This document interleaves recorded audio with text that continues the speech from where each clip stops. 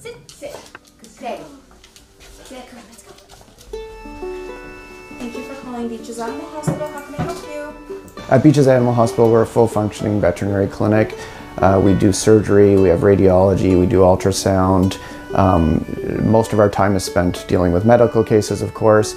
Uh, we have boarding, we service both uh, paying clientele, but we also do a lot of work with rescue groups as well. In fact, the last count was that we were working with 60 rescue groups, which I think has actually helped us build as a veterinary clinic uh, because the, the people in the community actually see that we're giving back to the community, so they, they enjoy that idea and they, they um, come to us and, and continue to come to us.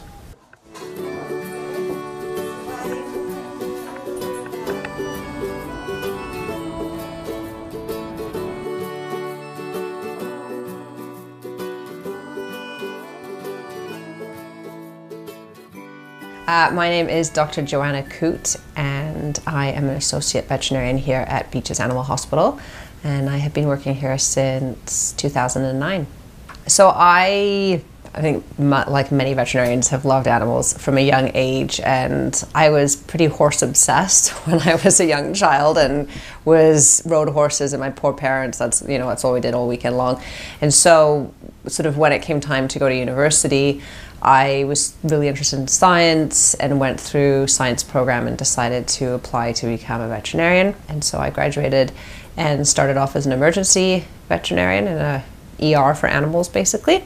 Over the years have developed an interest in surgery and so I do see appointments so I see consultations um, as all the vets do here and um, and I do have days where I do surgery as well so I primarily do surgeries on dogs and cats. I do do some surgeries on rabbits and small pocket pets, uh, but mostly dogs and cats, and that can range from anything to um, routine surgeries such as spay and neuter, um, all the way to removal of foreign objects that they shouldn't have eaten, such as tennis balls or corn on the cob, uh, bracelets. It's amazing what animals will eat, but um, so those types of surgeries or mass removals, uh, dentals on animals. Uh, so. All right. So for ultrasounds on animals, we put them in um, DV position. So basically dorsal ventral. So the abdomen side is up, the dorsal side is on the back, and then we just hold them down like that. Most animals don't mind being like this. So Dolly's a good girl though. She won't mind. Right, baby girl? Right? With your tongue?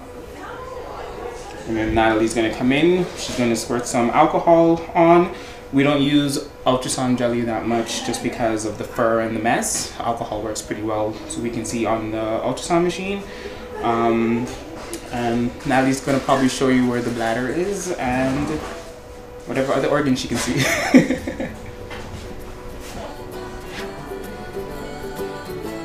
right, baby girl?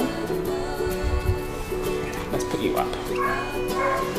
So I started at the Beaches Animal Hospital in 2004.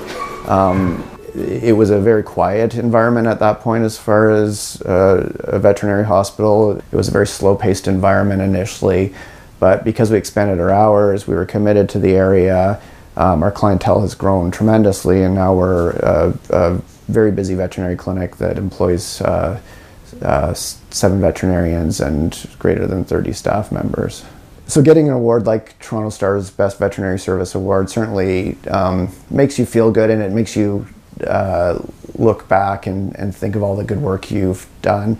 In fact, when we got that the Toronto Star Award, I got a bad rating on my Uber that day, and I focused more on the the bad Uber rating than I did on this Toronto Star Award. But it does it it helps you keep things in perspective and, and makes makes you you and the the staff um, feel good about your what you've done that day.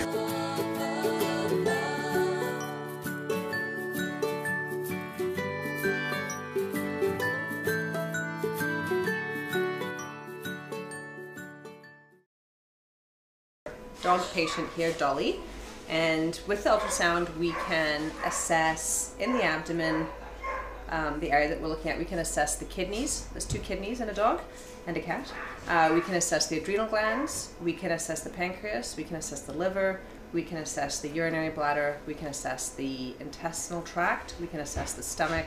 and we can assess if they have their reproductive reproductive organs still, um, the uterus, the ovaries in this case for Dolly because she's female. She does not because she has been spayed.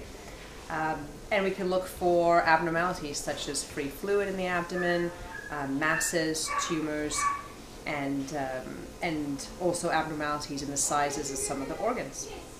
Okay, so we'll take a look.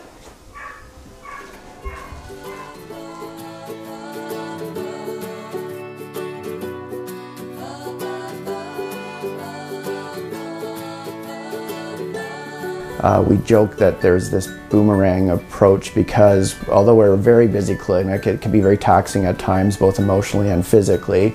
And sometimes people venture off to go and try out a different job, but they, they in a lot of cases, come back to work with us because I, I do believe we're a great clinic to work with, and it's because we're, we're all committed to animals.